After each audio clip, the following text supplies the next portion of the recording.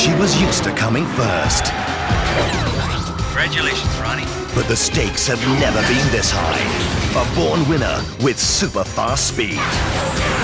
Ronnie is the Yellow Ranger. In brand new Power Rangers Operation Overdrive. This weekend at 8.30 a.m. on Jetix.